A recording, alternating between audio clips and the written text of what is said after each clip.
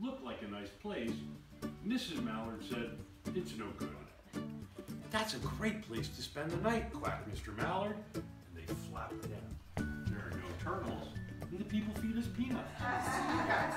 Can we all come take a seat for some reading?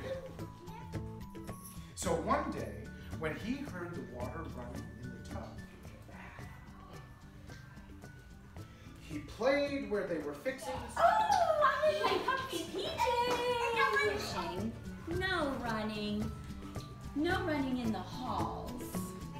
Was I happy? I had never slept at a friend's house before. I'll feel fine. I'll, I'll feel great. I will probably love. Losing her first tooth. She and remembering her lunch money. Immediately, Jessica began to worry. Oh no, she said to herself. Where did it come from? Why is it here? I wondered, what do you do with an eye? I had to admit it. I felt better and happier when it was around. Wiggles. She just worried.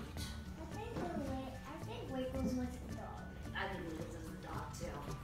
But it's hot cocoa? Yes, because I know it's gonna be. I know. Actually, this is my brother. My brother. My brother. Birdie.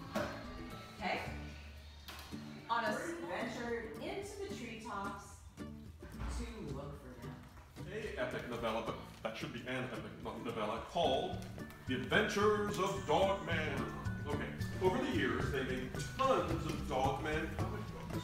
And speaking of kitchens and ketchup and cake and kettles and stoves and the stuff